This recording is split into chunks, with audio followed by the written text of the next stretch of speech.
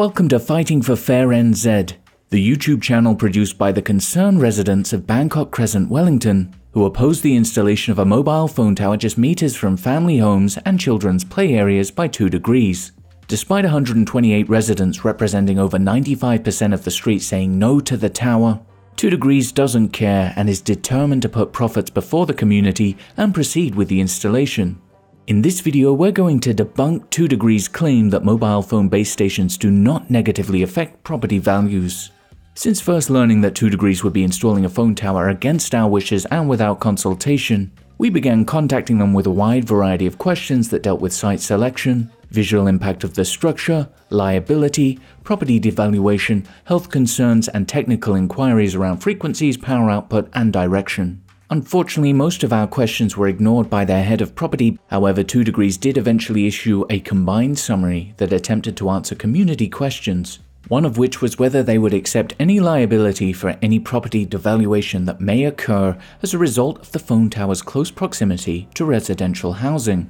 Of course, they refused to discuss the liability component, which Wellington City Council informed us lies with 2 degrees, but they did attempt to tackle devaluation. In their response titled, Won't the site devalue my property? 2 degrees simply rely on a good old fashioned logical fallacy the appeal to authority. There's no evidence to suggest that sites like the one we are building will impact property values. Research studies in the past, including by Auckland University, have confirmed this. Oh, thank you, 2 degrees. We can all sleep well tonight. If some unnamed research in the past, including by a university, support your claim, then it must be true, right? Wrong. The claim is demonstrably false. In fact, the majority of studies not funded by the wireless industry do show property devaluation, and these findings are mirrored by the assessment of expert property appraisers of the incredibly vague studies in the past that 2 Degrees rely on to try and convince Kiwis that no devaluation will take place after they install a phone tower meters from your home, we were only able to find a total of three studies ever conducted in New Zealand that show no evidence for property devaluation. Surprise, surprise, two were funded by Telecom, now known as Spark, and cannot be relied upon due to the fact that the results are biased. And the third is from a 2010 Auckland University paper titled the Impact of Proximity to Cell Phone Towers on Residential Property Values by Filippova and Rehm, a study I doubt 2 degrees expected us to read.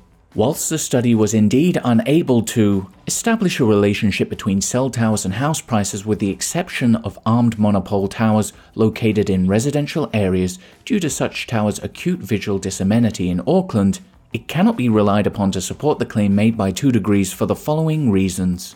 Firstly, the authors acknowledge that a perception of risk, irrespective of whether or not it is supported by empirical evidence, may invoke environmental stigma which has the potential to lower property values.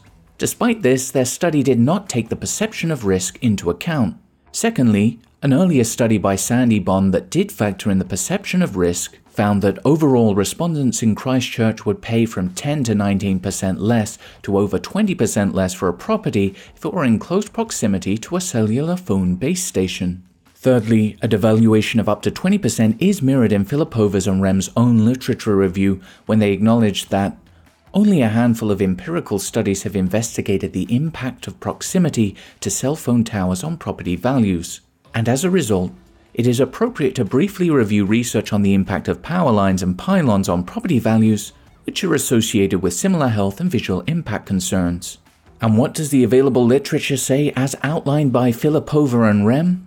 In short, adverse value effects due to proximity to a high voltage transmission line are observed in most studies. Previous studies found high price reductions between 1 and 20%, with this price discount reducing rapidly with increasing distance from the power pole.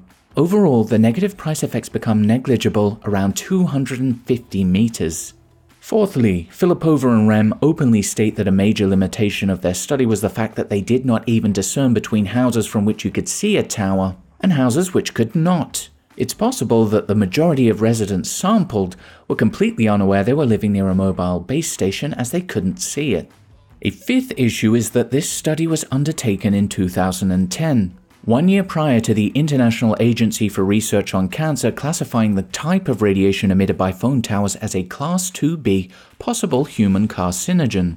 This classification added greatly to the perception of risk that Filippova and Rehm acknowledge can have a devaluing effect on property, so any findings prior to this ruling cannot possibly be used to support 2 degrees claims now. And lastly, the overwhelming majority of studies published after 2011 all find that phone towers have a devaluing effect on properties within about 300 meters. For example, a study published in 2018 on the impact of cell phone towers on house prices in Brisbane, Australia concluded the results revealed that proximity to cell phone towers negatively affects house values, decreasing as the distance from the tower increases. A suitable compensation program for nearby property owners is therefore suggested as being an appropriate policy response. Whilst a suitable compensation program for nearby property owners would be appropriate for the residents of Bangkok Crescent, 2 Degrees has refused to answer any questions put to them thus far in regards to compensation for devaluation and simply repeat the industry mantra there is no substantiated evidence that sites like the one we are building will impact property values. Another study from the same year on wireless towers and home values in the United States concluded that for properties located within 0.72 kilometers of the closest tower, results reveal significant social welfare cloths with values declining 2.46% on average and up to 9.78% for homes within tower visibility range compared to homes outside tower visibility range. In aggregate, properties within the 0.72 kilometer ban lose over $24 million.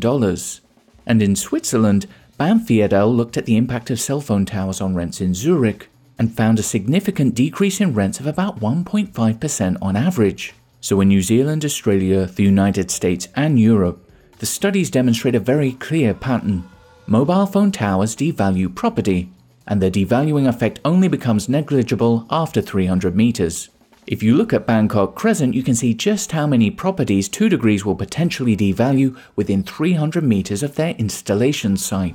The academic research is clear, but what do expert property values have to say on the topic of devaluation?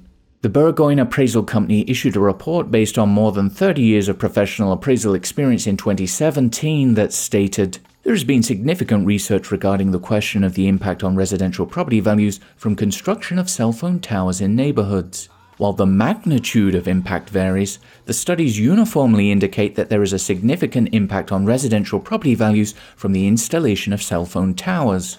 Not surprisingly, the studies that show little or no impact are universally commissioned by and paid for the telecommunications industry. And not surprisingly, it's these very studies that 2 Degrees chose to mislead the residents of Bangkok Crescent who are concerned about the impact of having a cell phone tower installed just meters from their property. However, there is at least one point of agreement between the studies relied on by 2 degrees to support their dubious claim and the majority of studies that find evaluation occurs, and that is that a perception of risk, irrespective of whether or not it is supported by empirical evidence, may invoke environmental stigma which has the potential to lower property values. This then begs the following questions. Is there currently a perception of risk capable of invoking environmental stigma? And if so, is this perception of risk likely to increase and thus further amplify the devaluing effects already established? There has been a general perception of risk ever since the International Agency for Research on Cancer, which forms part of the World Health Organization, classified radiofrequency electromagnetic fields as a Class 2b carcinogen, which means it's possibly carcinogenic to humans. Since 2011, several key studies have demonstrated that RF radiation is both a co-carcinogen, meaning that it actively promotes the growth of cancer, and also that it causes cancer at levels currently permitted by NZ safety guidelines, in addition to a huge range of other health effects. In 2010, Tillmann et al. found a co-carcinogenic effect of lifelong UMTS exposure in female mice subjected to pre-treatment with ethyl nitrosourea. In layman's terms, what the study found was that chronic exposure to 3G cell phone radiation can promote the growth of tumors, thus speeding up the growth and spread of cancer. These findings were confirmed in a replication study in 2015 by Lerchl et al., who improved the study design and found tumor promoting effects at very low levels. We could confirm and extend the originally reported findings. Numbers of tumors of the lungs and livers in exposed animals were significantly higher than in sham exposed controls. In addition, lymphomas were also found to be significantly elevated by exposure. A clear dose response effect is absent. We hypothesize that these tumor promoting effects may be caused by metabolic changes due to exposure. Since many of the tumor promoting effects in our study were seen at low to moderate exposure levels, and thus well below exposure limits for users of mobile phones, further studies are warranted to investigate the underlying mechanisms. Our findings may help to understand the repeatedly reported increased incidences of brain cancer in heavy users of mobile phones. In 2018, the National Toxicology Program in the United States released the results of their 10 year, $30 million study that sought to establish whether mobile phone radiation could cause cancer. The results found clear evidence that mobile phone radiation can cause cancer at non thermal levels. However, our safety standards, by the way, only recognize health effects occurring thermally. The NTP findings were supported by another major study in 2018 undertaken by the Ramazzini Institute that sought to conduct the largest long term study ever performed in rats on the health effects of radiofrequency radiation. The study concluded the Ramazzini Institute findings on far field exposure to radiofrequency radiation are consistent with and reinforce the results of the NTP study on near field exposure, as both reported an increase in the incidence of tumors of both the brain and heart in exposed Sprague-Dawley rats. These tumors are of the same histotype of those observed in some epidemiological studies on cell phone users. These experimental studies provide sufficient evidence to call for the re-evaluation of IARC conclusions regarding the carcinogenic potential of radiofrequency radiation in humans. As both the NTP and Ramazzini Institute findings provide sufficient evidence to call for the re-evaluation of IARC conclusions, one has to wonder how great the devaluing effect would be should IARC reclassify the radiation emitted by cellular phone base stations as a probable cancer agent or simply carcinogenic to humans, as some experts claim will happen. In summary, the 2 degrees claim that there is no evidence of property devaluation is false. The weight of evidence shows that property devaluation is most impactful within 300 meters of a base station, and that this is a global occurrence. In addition, living within close range of a mobile phone base station that emits radiation currently considered to be possibly carcinogenic, and that this classification by IARC has the strong likelihood of being upgraded to probably carcinogenic or carcinogenic to humans in the next few years, will only exacerbate the amount of devaluation already known to occur.